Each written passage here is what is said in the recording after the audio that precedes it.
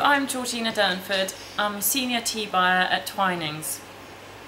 This, today I'm going to talk to you about Lapsang Souchong. Lapsang is from China. It's from the Wuyi Mountains in Fujian province. It's a wonderful, fully smoked tea which is created in this pine forest area and dates back to the 16th century.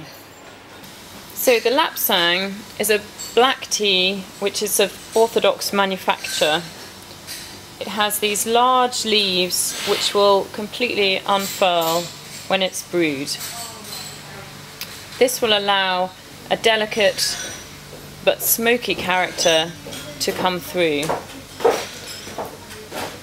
So Lapsang is made by a few um, tea producers in the Wuyi Mountains it's been made by um, techniques which have been handed down generation by generation in a very manual, highly crafted way um, of techniques. The tea is fired over pine wood which gives it its unique character of smoke.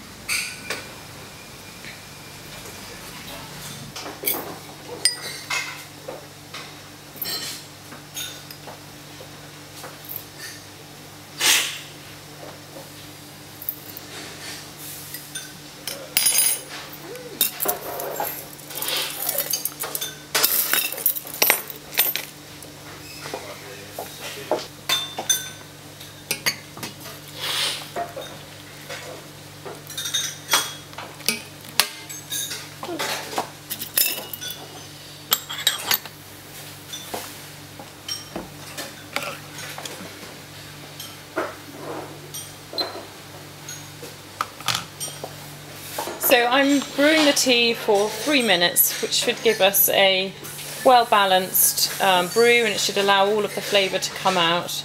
Um, and from that time, there should be a lovely mellow character to it as well.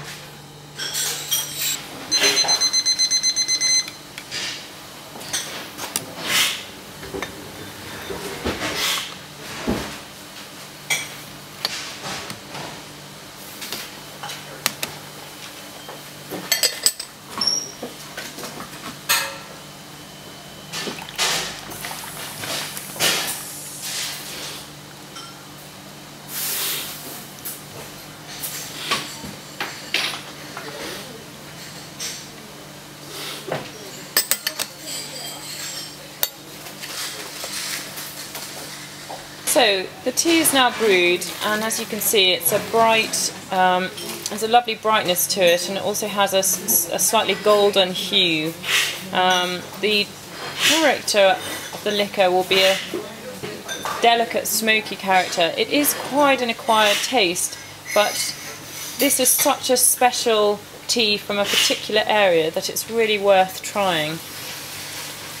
So when you have just first brewed it, you can really smell those smoky, peaty, piney characters which are coming off the fresh brew, and it's simply marvellous.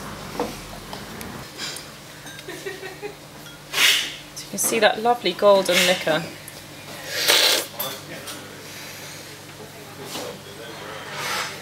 Very delicate, rounded, smoky character. Very nice.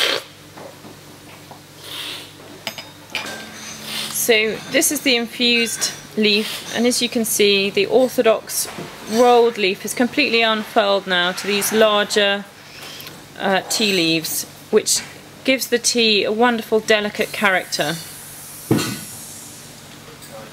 Okay, so lapsang can be drunk with or without milk. It gives it quite a different character. So I'm now going to add some milk and you can see the difference.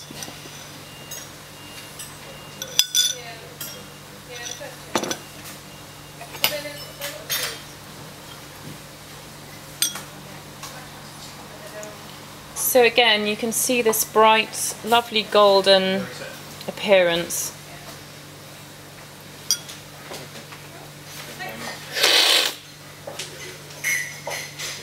And a rounded, smooth, full smoky character.